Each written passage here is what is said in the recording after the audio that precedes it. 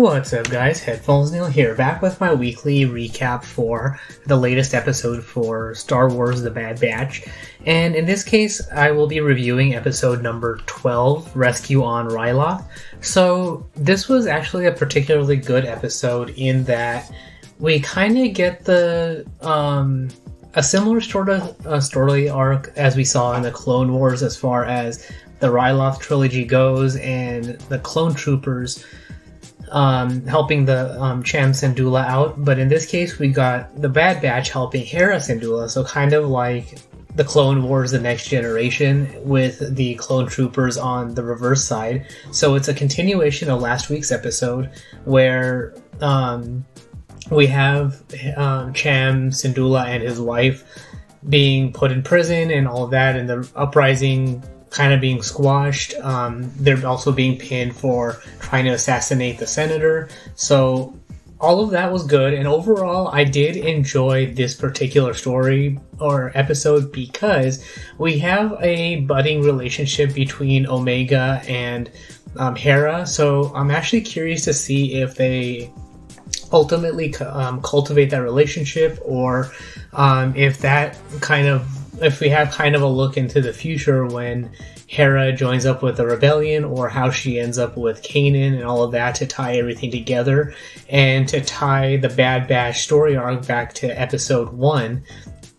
Or I believe episode one, where we have the Bad Batch and uh, or the backstory to um, Kanan. So um, it kind of feels like that's kind of where they're going to end up with to tie all of that, those various elements together. So all of that was good, and um, the other parts that, or the other reasons why I liked um, this particular episode was we had a couple of um, what I felt were throwbacks to the Star Wars original trilogy, and the first was when Hera is um, asking the Bad Batch for help. So that actually felt very reminiscent of um, R2D2 sending Obi Wan's message or sorry, um, sending Leia's message to Obi Wan, um, asking for help. So this um, scene, while not a perfect um, recreation of that scene, it had those various elements. You you get that plea for help, for being oppressed, and ultimately needing help. So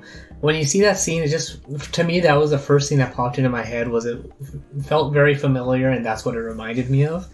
And the other scene reminded me of a scene from um, Return of the Jedi where we have um, in this case we have um, Hera and Omega trying to break into the base, and they use the um, shuttle to blast down the door, and that reminded me of Return of the Jedi in the um, satellite base where um, the, uh, the rebels use the walker to blast down the door to the base to unlock it. So kind of, and again, not quite a remapping of a classic scene, but recreated for the Bad Batch. So for me, it felt like a not necessarily an Easter egg, but a scene or two two scenes that have throwbacks to the original trilogy and the Rebellion and Rebels, just because it feels like the Bad Batch is establishing more of the backstory as far as the Rebellion goes and um, some of the Empire. So that's why we're see, we see had a couple of events with um,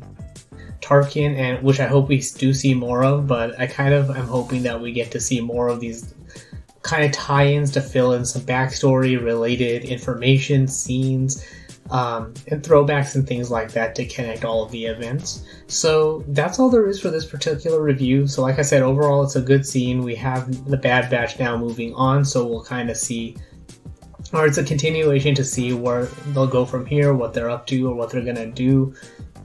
If they get to, if they get more missions related to the rebellion or various other elements related to the rebellion and not necessarily connected until um, we get to the end of the season. So that's all there is for this particular review. So if you have any questions, comments, feedback, um, Easter eggs of your own, things you like, dislike, and all of that for this episode, you can find me on Twitter at PatelN01. The website is headphonesneil.reviews for past episodes, subscription links, supporting the show. Um, if you want an ad-free version of the show, then you can um, check out the Patreon at patreon.com slash PatelN01. But that's all there is for this particular episode. Thanks for tuning in and subscribing and supporting and listening to the show. And until next time.